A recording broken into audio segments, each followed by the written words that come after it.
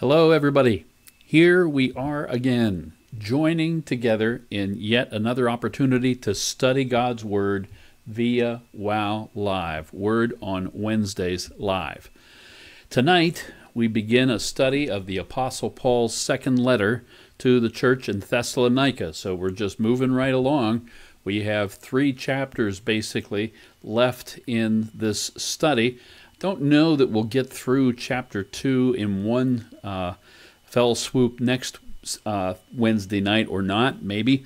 But uh, there's some extra material in there that's worth taking a good look at. Ties in with some of the things we've been saying in the in the sermon series as well at the church. So, anyhow, it doesn't mean we'll be finished in in in just uh, three weeks, counting tonight. So uh, may stretch out a little bit. So, but tonight's going to be kind of short, and if um, I, am doing okay and everything goes well. Uh, if we have some time left at the end, I have something I just just discovered and just just happened to be reading a little bit before just uh, minutes ago. And and it's like uh, one of those light bulb moments where things just like wow this is cool. And so i'm if there's time left i'd like to share with you a little bit of what i got. And we'll see how that goes. It'll be kind of uh, hit and miss and and all done uh, off the cuff, you know, no no practice or plan or anything like that. So, uh, but but that's the way I said this would probably be as we as we move forward, a lot more open. And so we'll see how that goes. See if we have some time to get that in. Um, anyhow, tonight we're going to uh, take a look at Second Thessalonians chapter one, the very first chapter, and here are the first couple of verses of that chapter. Second Thessalonians one verses one and two. Paul Silvanus and Timothy, to the church of the Thessalonians in God our Father and the Lord Jesus Christ. Grace to you and peace from God our Father and the Lord Jesus Christ. So, Silvanus, who is this Silvanus character? Well, Silvanus is actually the Roman name for Silas. Paul's partner in uh, the missionary trips, second and third ones anyway. Silas went with him. So this letter is coming from Paul and from Silas and, of course, from Timothy. Those were the same three who originally came into Thessalonica and got the church started there. They went to the synagogue. Paul taught in the synagogue for three weeks, and then they ran into some trouble. Um, as we learned before as well, Timothy went back to Thessalonica Okay, but to check in on the church there, and he reported back to Paul, and then Paul mentioned that report from Timothy in his first letter that he sent to the church there in Thessalonica. And here we see the church is let's see, let's go back to the to the verse slide here. The church is in God our Father. And also the church is in the Lord Jesus Christ. So there's this positional thing in the Father and the Son and the Holy Spirit makes that possible, of course, being the Holy Spirit is the one who unites the church together. And it is from God the Father and Jesus Christ that grace and peace come. You realize it's because of God's grace that we also experience His peace. And we'll be talking about some of those kinds of things with God's grace here in a little bit. Paul is well known in his letters for his very, very long sentences, okay? And the sentence in verses 3 through 8 uh, from the New King James Version has 153 English words in it. That's quite uh, that that's like a paragraph, not just a, a sentence. And so Paul's famous for these sort of run-on sentences, if you will. Let's go through this uh, verse by verse. Okay, uh, verse three says, "We are bound." To thank God always for you, brethren, as it is fitting, because your faith grows exceedingly, and the love of every one of you all abounds uh, well, it's every one of you all, because Paul was Southern, I think. Uh, and the love of every one of you all bounds toward each other, abounds toward each other. I'll, I'll get reading straightened out here before too long. The word bound there means to be indebted, to be obligated, owed. In a number of places in the New Testament, it's translated as the word ought. Uh, it's used in this familiar passage, for example, Ephesians 5:28 at the bottom of the slide there. So husbands ought to love their own wives as their own bodies. He who loves his wife loves himself.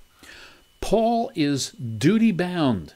Uh, it's what he ought to do. He owes it to the Thessalonian believers to thank God for them. It's fitting and right that he should do so, he says. Well, why? Because they are evidencing growth in their faith. In fact, he says their faith is growing exceedingly or abundantly, increasingly above measure.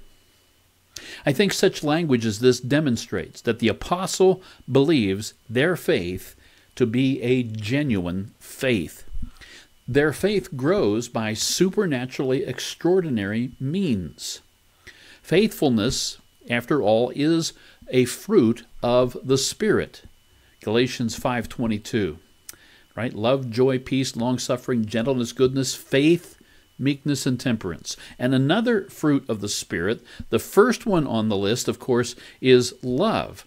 And Paul says he also owes gratitude to God for the Thessalonian Christians because their love for each other abounds. Second Thessalonians verse 4 says that because their faith is growing so much and because they love each other so much, they have made it so that we ourselves boast of you among the churches of God for your patience and faith in all your persecutions and tribulations that you endure. So Paul uses these people's faith as an example when he's talking to other churches. It's, it's like he says, You won't believe how strong the faith of the believers in Thessalonica is. Folks, that's the kind of faith all of us need. Their faith has been made evident out of tribulations and persecutions that they've gone through. We've seen it, you know. That's what Paul is saying to these other churches here about this church in Thessalonica a real, honest to goodness, authentic faith. A disingenuous faith, a fake faith, will fail whenever the going gets tough. That's a spiritual principle. That's how God weeds out the fakers. I believe this is how God preserves his faithful remnant. Look at these words here from uh, of Jesus that come to us from John 15 also talking about spiritual uh, fruit and so forth. John 15, verses 4 through 6. Jesus says to them, Abide in me, and I in you. As the branch cannot bear fruit of itself unless it abides in the vine, neither can you unless you abide in me. I am the vine, you are the branches. He who abides in me and I in him bears much fruit. For without me you can do nothing. Just like a branch can do nothing without the vine, right? If anyone does not abide in me, he is cast out as a branch and is withered. And they gather them and throw them into the fire, and they're burned. Folks, we need to abide in Jesus in order to bear fruit. Now that that requires faith. We need to trust that Jesus by means of the Holy Spirit is going to infuse us with that which we need in order to produce the kind of fruit that he desires. Just as a vine or a branch rather is dependent upon what the vine supplies to grow the fruit at the end of the branch. And in this case, it's spiritual fruit on us, the branches love, joy, peace, long suffering, gentleness, goodness, faith, meekness, temperance, all from Galatians 5:22. Now here's the thing, see, uh, as we talk about uh, this this uh, this faith, genuine faith versus fake faith. If a person claiming to be a fo- follower of Jesus is not abiding in Christ, well, that person is going to be cast out. That's what this passage is telling us. And I believe this casting out comes about whenever there is tribulation or persecution. In other words, these people uh, leave Christ when things get tough. So they leave Christ of their own volition. They choose to go. They can't stand the heat, right? So they get out of the kitchen. And you know, sometimes I think that it is entire church organizations that leave.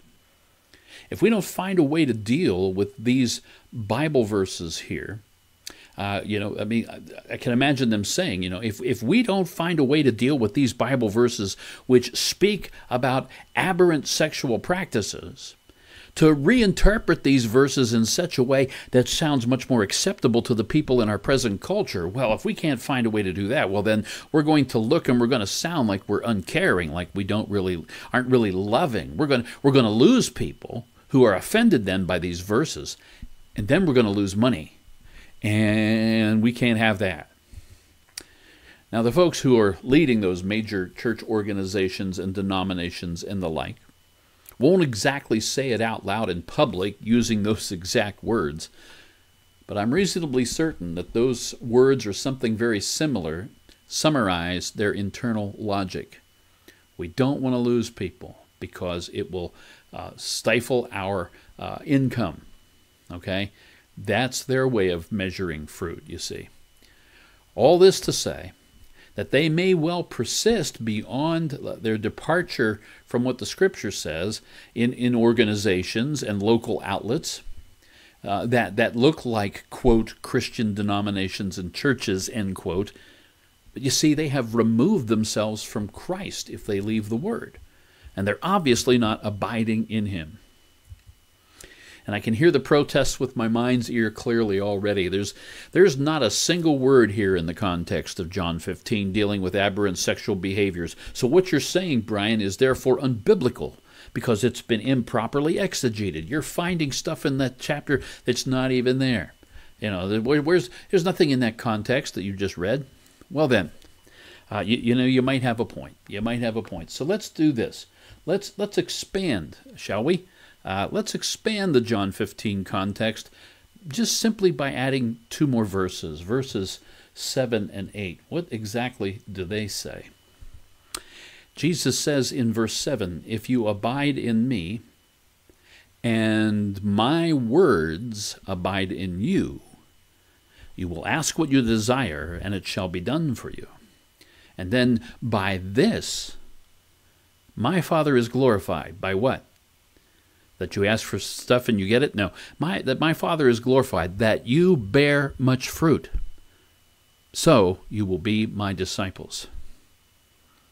So here's the thing, you see. For the one who would be a disciple of Jesus, for the one who would bear much fruit that would glorify the Father, such a one must abide in Jesus, and Jesus' words must abide in you. Now, for those who may be criticizing my interpretation here by talking about aberrant sexual behavior, here's what has happened. Your task has now become one of convincing me where, in the inspired Word of God, that Jesus' words stop and human opinions take over because it says here, My words abide in you. If my words abide in you, you, you will be my disciples, okay? Because you'll be bearing much fruit because the word brings that about, see?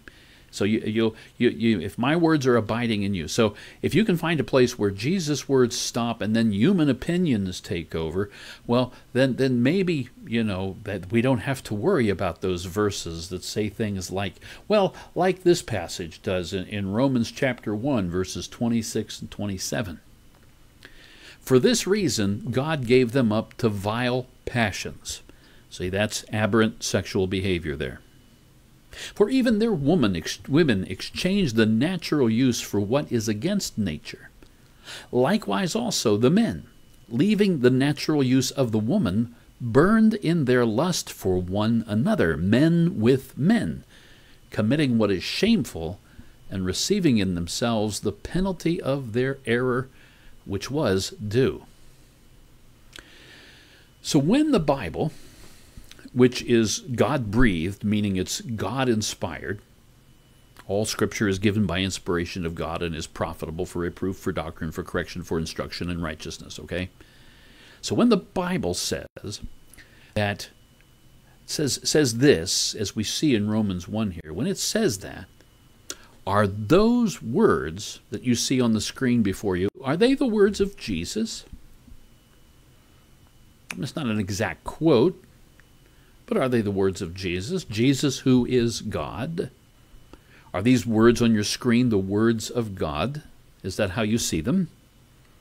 Should those words abide in us, being believed by us to be true and so, and, and to be as serve as a guide and a, and a means of understanding the world around us? Should, should they abide in us for us to be Jesus' disciples based upon what Jesus said in John 15? Or, or do we have to reinterpret these words to mean something other than what they are obviously saying in order to maybe, okay, maybe make the words more palatable, to make them more acceptable to our contemporary culture?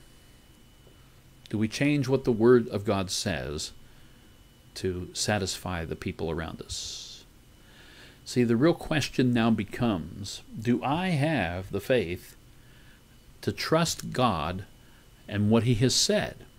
And then to live it out accordingly, to live based on it, to see things based upon what His Word says, trusting the Holy Spirit to produce the kind of fruit that he desires. See, that's what Paul is saying about the ever growing abundant faith of these Thessalonians. And by the way, aberrant sexual behavior was an issue in their culture too. It's not just uh, some modern phenomenon. Let's move on to uh, 2 Thessalonians uh, chapter 1 and verse 5, okay? What's it say there?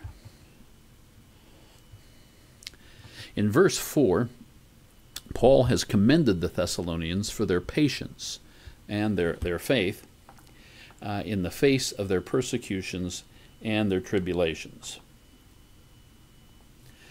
And Paul points out their endurance, which is manifest evidence of the righteous judgment of God, that you may be counted worthy of the kingdom of God, for which you also suffer. So here we learn that their suffering is for the kingdom of God. Paul says that their patience and faithful endurance of their persecution serves as obvious, manifest evidence of God's righteous judgment. So it seems here that not only is judgment of God upon sin and evil, as we normally understand it when we think of the judgment of God, it seems there is also judgment of God uh, to reward well doing, to pass a positive judgment upon someone.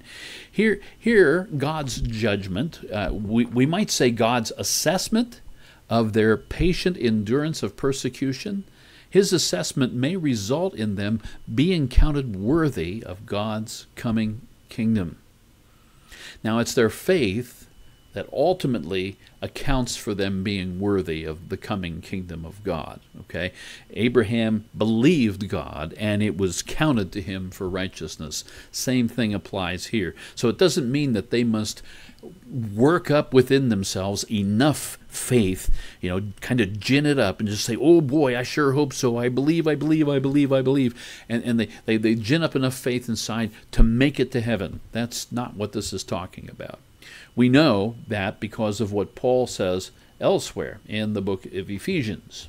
Okay, chapter 2 and verses 8 and 9. For by grace you have been saved Remember, grace and peace to you from God the Father and from our Lord Jesus Christ. For by grace you have been saved through faith. And that not of yourselves. It's the works lest anyone should boast. See, folks, we are saved from God's wrath, and we are preserved for his kingdom by his grace, meaning by what He has done for us, not by what we can or should do for ourselves, because we can't do it no matter how much we think we ought to. We access His grace on our behalf, we access His grace through faith. And look at this verse, look what it says that the faith is not even of ourselves. This faith is also a gift of God, just like His grace. And in case we don't get the message, Paul emphasizes in verse 9 that our salvation does not come to us by the works which we do. Otherwise, as he says, people would boast about how they earned their way into heaven. I'm earning my way into heaven. I'm doing all the right things. Uh, let's now take a look at verses 6 through 8 in 2 Thessalonians 1. In these next few verses now, Paul is going to bring up the subject of Jesus' second coming. As I've said before, each chapter in these two letters to the Thessalonian church refers to the second coming in some way or other. So here is the second major clause in Paul's 153 word long sentence. This is verses 6 through 8, 2 Thessalonians 1.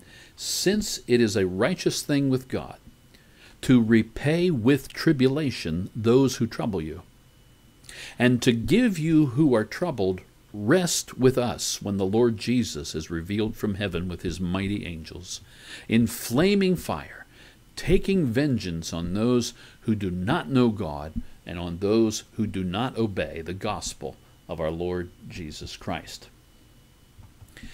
The Bible says elsewhere in Romans 12 and verse 19, Vengeance is mine, I will repay, says the Lord. And see, this same principle is expressed in verse 6 in this passage. God is going to repay with tribulation those who trouble and persecute his people. So let's just review here for a quick moment. The, the, the, Thessalonians are commended by Paul in this letter for their exceeding and abundant growth of their faith their trust, their abiding in the words of Jesus, right? As they endure with faith and patience the tribulation and the persecution heaped upon them by other people.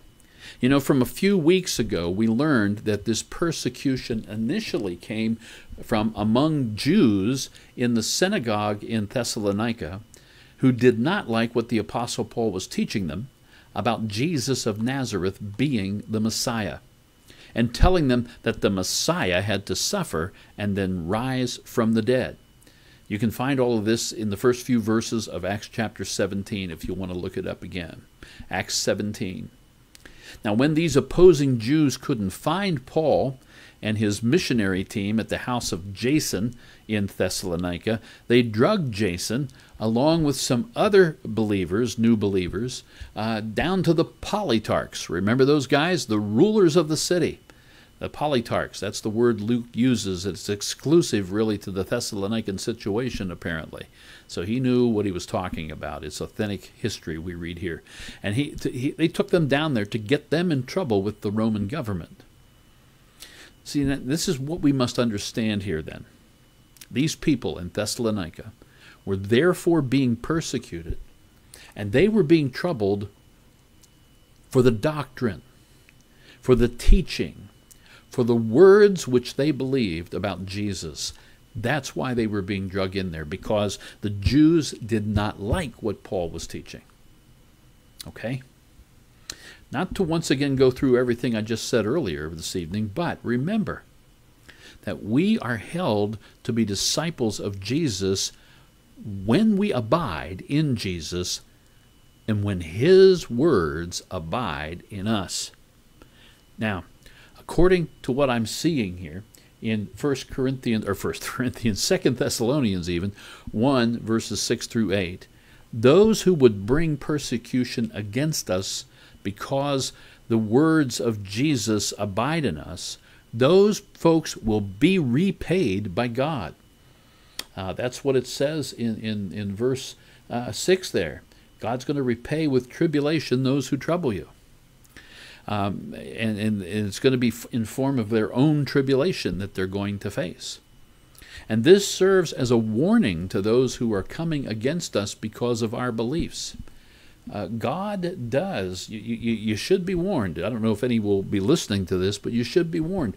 God does exact vengeance when his children are attacked.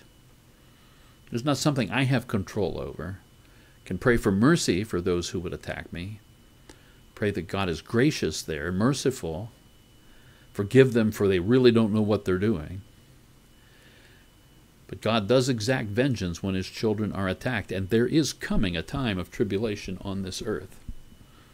Tribulation at the hands of God. There will be a time of reckoning, a time of judgment. We're told here that God's children will receive rest from their trials, while those who persecuted them will suffer trouble and tribulation themselves. According to this passage we've looked at here, this tribulation will come, quote, when the Lord Jesus is revealed from heaven with his mighty angels. Notice here, this tribulation will fall upon those who do not know God, down in verse 8, near the bottom of the slide. He'll fall upon those who do not know God and on those who do not obey the gospel of our Lord Jesus Christ. Believers are not part of the time of tribulation. Take note of that. The tribulation falls upon those who do not believe. And I think this supports the idea that the true church, the bride of Christ, will be raptured before this tribulation begins. The tribulation is not for the church, it's for those who do not believe. Now, there may be people who were in a church who didn't believe and are still left behind after the rapture. That's a different horse, okay? A different colored horse, okay? This contrast between the punishment uh, of unbelievers and the glorification of believers is now further emphasized in verses 9 and 10 of 2 Thessalonians 1.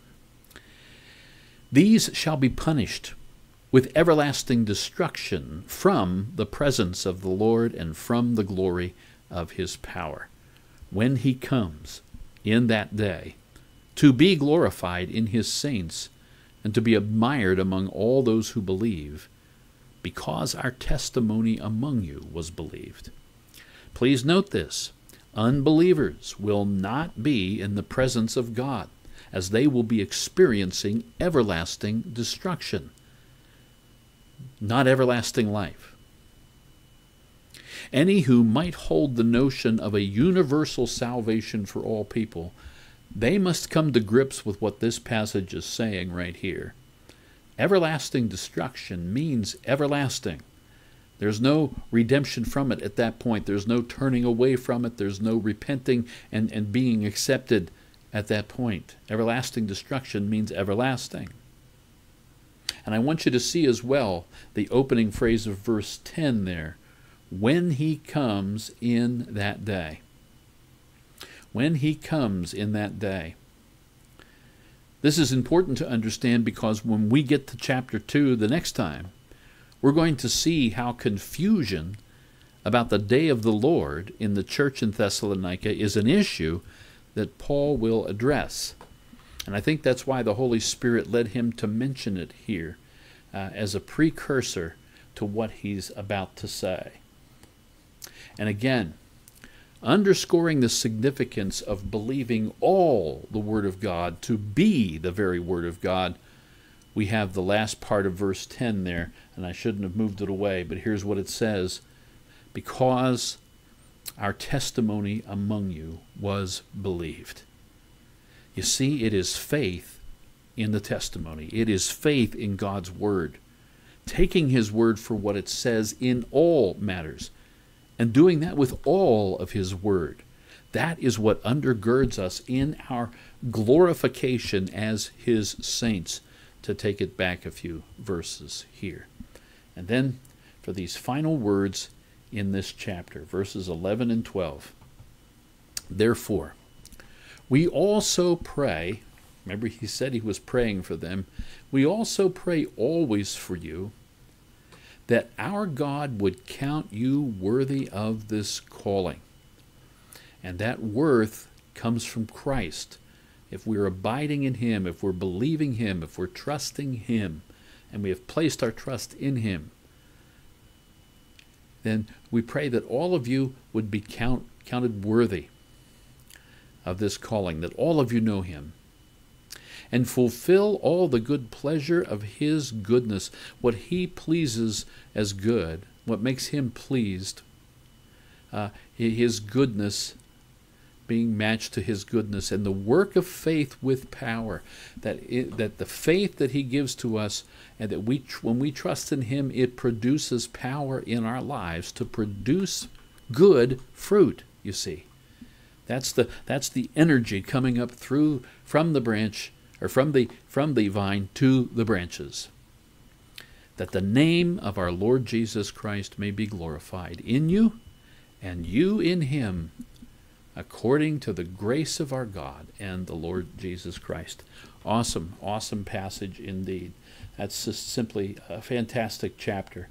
Um, just really impressed with the positive things that Paul says to these these Thessalonian believers. Um, uh, just uh, the, testimony that they must have had and, and everything else. Wow.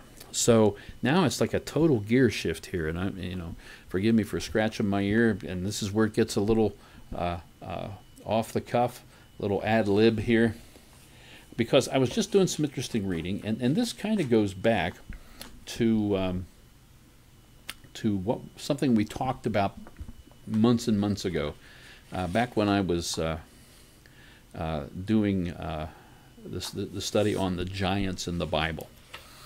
Um, and I have here a book that I've been been reading. Uh, it's kind of a thick volume, you can see there, and the title of the book is corrupting the image.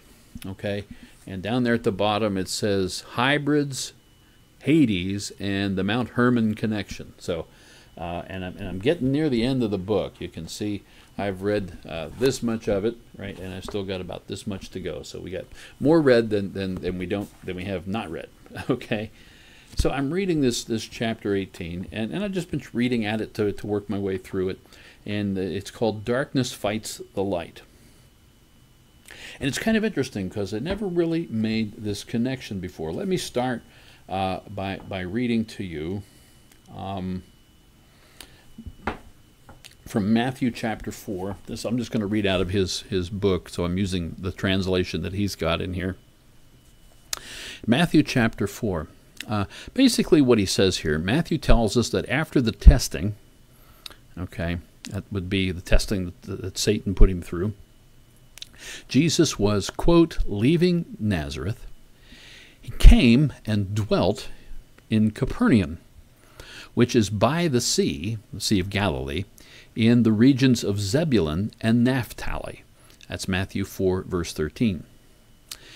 Jesus knew, the writer says here, this is Douglas Hamp, by the way, I should have told you that. Uh, Jesus knew that the Sanhedrin and the influential rabbis were down in Jerusalem. So you're thinking, you know, he's the Messiah. Why doesn't he go there? However, Jesus didn't did not go to Jerusalem to try to make reforms to the religious leaders. Instead, he went to the front line of the war. Now, see, that's something I, I had never really considered before. You know, uh, in, in my human way of thinking, I, I, think, well, he didn't want to go right into Jerusalem, make a stir right away. Uh, he, he, see, he, he was kind of like playing some softball a little bit with the, the people in the northern realms, and then he was going to come down and play hardball with the Pharisees and the Sadducees and uh, the Sanhedrin and all those Jewish leaders, right? That's my human way of thinking. But it, it's totally wrong. Matthew says, this was to fulfill Okay, he goes to move in this region, to live in this region up in the, in the Galilee region. This was to fulfill what was spoken through the prophet Isaiah. Land of Zebulun and land of Naphtali. Okay, those are two tribes of Israel. And they had their land allotted to them uh, by Joshua in, in the uh, uh, northern region of, of this area, up around Galilee and so, so forth, Zebulun and Naphtali. Land of Zebulun and land of Naphtali along the sea road beyond the Jordan. Galilee of the Gentiles. It's Galilee of the Gentiles. It's a Gentile realm. Now look at this. Listen to this. The people who live in darkness have seen a great light. Jesus, of course, is the great light. But the people are living in darkness. And for those living in the shadow land of death, light has dawned. From then on, Jesus began to preach, Repent, because the kingdom of heaven has come near.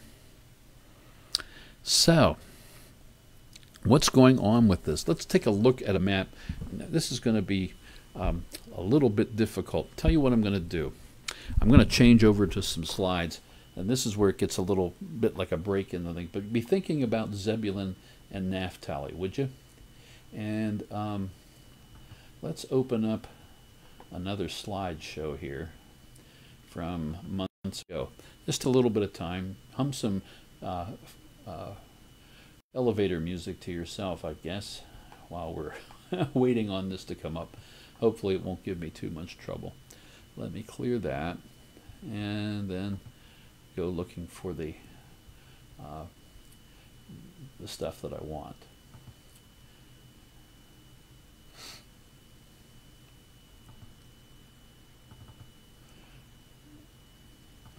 Okay, there's our Giants in the Land lesson. And then we come down here to a lesson that was called the Giant Clam. We did this back in, in uh, December, middle of December uh, of last year. And let's see if we can get this to open up. Okay, so if we can get these PowerPoint slides to load up fairly decently, I'll have a, a map for you. Let me just, while we're doing that, um, let me show you here um, what's going on. This is a, um, a map of Israel. You can sort of see it. Here's the Mediterranean Sea over here, right? Here's the, uh, the Dead Sea down here in the valley, and up here's the Sea of Galilee. This is the Jordan Valley all the way running down through there as the river goes down through. Up here at the very top, right at that point, and I know you can't really see too well. Yeah, it's a total glare on there. Uh, up at this point at the very top, we have to lean uh, uh, Israel over a little bit. But that's Mount Hermon right up there, the real tall mountain. You can sort of see if I turn it that way, you can see how high that is on this relief map. And that's uh, where we're at. See, here's the Sea of Galilee. Capernaum is right up and around here. Nazareth, where Jesus grew up, is right in about here. So there's uh, Capernaum over this way, and then we go this direction, and there's on this other little hillside right in there. Up on the peak of that, actually, is where Nazareth is at. And then way up here is Mount Hermon. okay, I get my dis- disoriented trying to follow the map. Up here's Mount Hermon. And then this is, Nazareth is in the land of Zebulun. Okay, so that's why I was pointing that out. That's Nazareth right there. That's in the, the land of Zebulun. Naphtali is, is around the Galilee region, right in around through here. Okay. Now, let me get a map and, and on here that I can show you now. I think, it, yes, it came up here. Let's uh, throw this up on the screen. All right, so now we're going to go through. See, there's lots of slides for these. Remember all this? Oh, those guys are great. Um, and Giants in the Earth in those days, genealogy of Noah. And uh, we did all kinds of things. There's the grapes that they found, giant grapes, and giant people. Okay, in, in the land when they came into the land and everything. The Rephaim and the Zuzim, and the Emim. Uh, Cush begot Nimrod. He began to be a mighty man in the earth. There's something about Nimrod that's kind of strange. He, he began to be a mighty man, a Gibborim, and that's what the Nephilim were called back in Genesis. Here we go. Let's see. That's now that's down in the south. Okay, that's the the uh, the Dead Sea and so forth. And uh, so we're coming into some maps here. Og the Giant up in Bashan. Okay, that's that's that's Bashan's the region up there that a lot of this has taken place in around Mount Hermon. Okay, here we go. This is the 25th slide, and I can't. I wish I had a pointer here to show you, but you can see the Sea of Galilee up at the top, and immediately to to the right of that, as you're looking at it, you'll see Bashan listed there. Okay, now, this is an Old Testament map, so you won't find like Nazareth. Uh, but Sea of Galilee, based on what we just saw with Capernaum, if you look to the mountain ridges over to the um, west or, in your perspective, left of the Sea of Galilee. You'll see some mountain ridges over there on top of one of those peaks of the mountain ridge. Uh, it's not up, up, above the Sea of Galilee, but down below it. That's where Nazareth would be sitting. That's the land of Zebulun. And Naphtali is around the Sea of Galilee. And then you have Bashan over there, the, the, the, the, the land of the Gentiles, okay? Bashan. Bashan is interesting um, because it means the, the land of the serpent, the land of the snake. Okay, and it, it's it's the uh, also called the land of the giants. We don't have uh, Mount Hermon in this picture, but we saw where it was north of this region by about 20 to 25 miles. Okay, up to the top peak of Mount uh, of Hermon. That is where, according to uh, the story in Enoch, that's where the uh, the Watchers came down, rebelled against God, and that's they're the ones who were the sons of God who came into the daughters of men before the time of the flood, and they bear children to them, which became the Nephilim and, and the giant races, in an effort to destroy and to stop the Son of God. So when Doug Hamp says that uh, Jesus goes to the north, to the, the, the line of battle. See, the line of battle is not in Jerusalem with these Jewish leaders. The line of battle is up here in this region in the north. Galilee, when Jesus gets there, Galilee, according to Doug Hamp, has lots of demons in there. He uh, says at the beginning of this chapter that I was just reading, before this is right before what I was reading, when Jesus began his ministry, there were hordes of demons in Galilee. They were concentrated in the Galilee because they were worshipped in the shadowland of the snake dragons. Okay? See, this is where the snake comes in, the serpent, the land of the serpent, the snake dragons. They had gained dominance in the very place where Satan commanded the sons of God to descend and begin their genetic warfare, uh, to, to corrupt the human seed line, to prevent the seed of the woman from coming. Okay? Um, that's what he's basically talking about there. But it never occurred to me that this, this is why Jesus goes there in the first place as he begins his public ministry, he heads to Galilee. He's baptized somewhere in the Jordan, goes into the wilderness, and then heads to Galilee. Right? That's kind of the order of events here in Matthew. Let's go back over to this slide once. Um, Bashan there. And if you go to the northeast of the Sea of Galilee, probably right up there somewhere above the, the H in the word Bashan, just a little distance uh, slightly north of that H. You come to a, a, a place called Gilgal Rephaim, okay? And I was looking at this tonight as after I read some of these things from um, from uh, Doug Hamp's book. There's Bashan again with another map. Some more things here.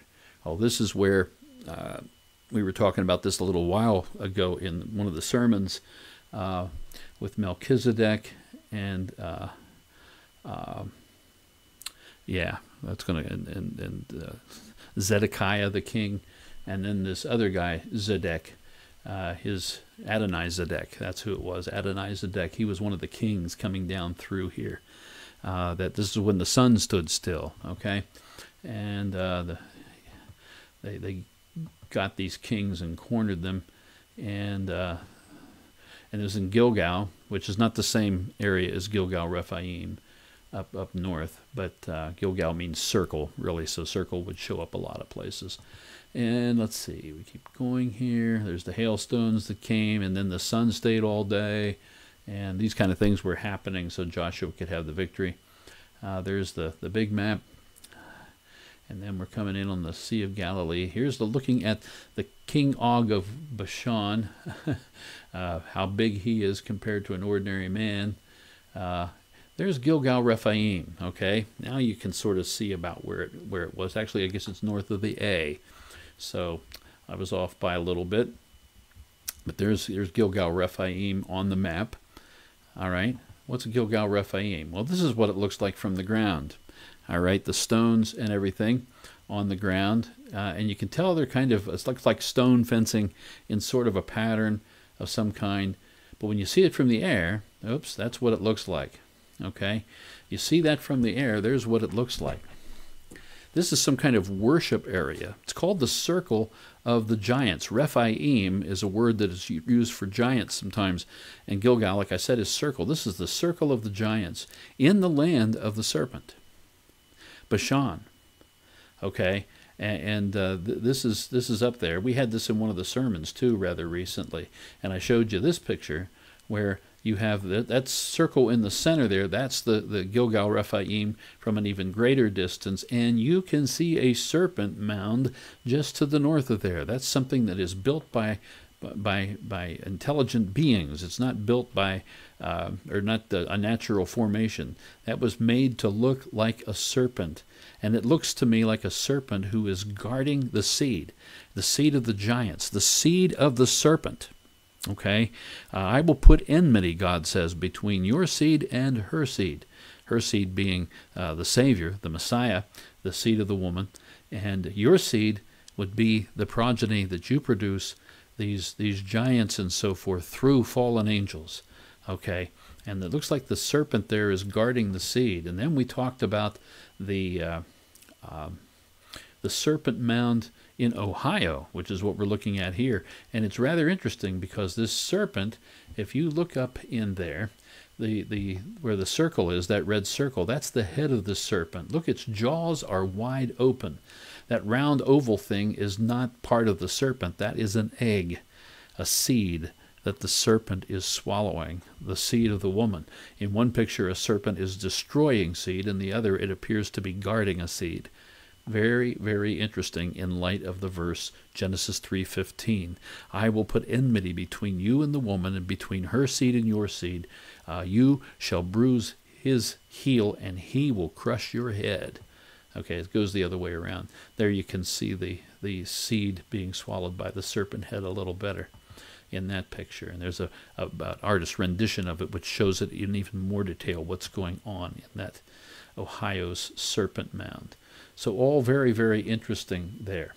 Uh, and another picture in the wintertime, just to give you a clear idea. So, um, L.A. Marzulli there, and now me. So, what interesting. Now, here, here's here's some more just from from Doug Hamp's book, and then I'm going to uh, bring this to a conclusion. But this is just what I found fascinating. Jesus is up there in the land of the north. He's close to these regions we were just looking at. There are a lot of demons in Galilee, and we do see that in evidence as we read through the Gospels. Okay, different people, demon possessed, and so forth. It's like there is a conglomeration there. And if you would, even the uh, the uh, uh, man possessed by a legion of demons is on just on the other side of the eastern shore of the Sea of Galilee. So, um, again, bearing witness to that. When Jesus and his disciples come down from the mountain, uh, where he is transfigured, which happens to believe to be the, uh, I believe, to be the Mount Mount Hermon, where these um, angels uh, of God fell and descended to, and began this rebellion before the flood. That's where Jesus goes to be transfigured to show not only his disciples, but to demonstrate to them as well who he is and why they need to fear. And he comes down from that mountain, and the first thing they do is they go to a synagogue and they encounter a young man who is possessed by a demon. Uh, th- this happens constantly. If you look for the warfare in the background as you read these stories, it's it's just incredible. So, anyhow, so Doug Hamp goes on to say here, after uh, looking at the Matthew 4 14 to 17, which concluded with repent because the kingdom of heaven has come near. He goes and asks next, What did Isaiah mean concerning the people of Zebulun and Naphtali living in darkness and the shadowland of death? Isaiah revealed that these people were recommending that everyone, this is, uh, everyone consult the spirits of the dead and the spiritists who chirp and mutter this is this that's a quote directly from Isaiah.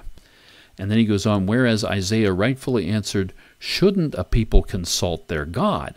Should they consult the dead on behalf of the living? Isaiah 8:19.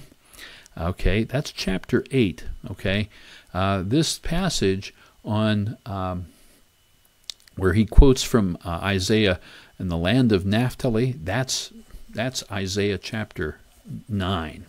Okay, Isaiah chapter 9. So th- these things about consulting their God on, uh, instead of consulting the dead on behalf of the living, he then states how they need to go to the law and to the testimony, Isaiah 8:20, and further warns from chapter 8 verses 20 to 22, if they do not speak according to this word, there will be no dawn for them. Again, notice the power of the Word of God as we were talking about in the other lesson. They will wander through the land, dejected and hungry. When they are famished, they will become enraged, and looking upward, will curse their king and their God. They will look toward the earth and see only distress, darkness, and the gloom of affliction, and they will be driven into thick darkness.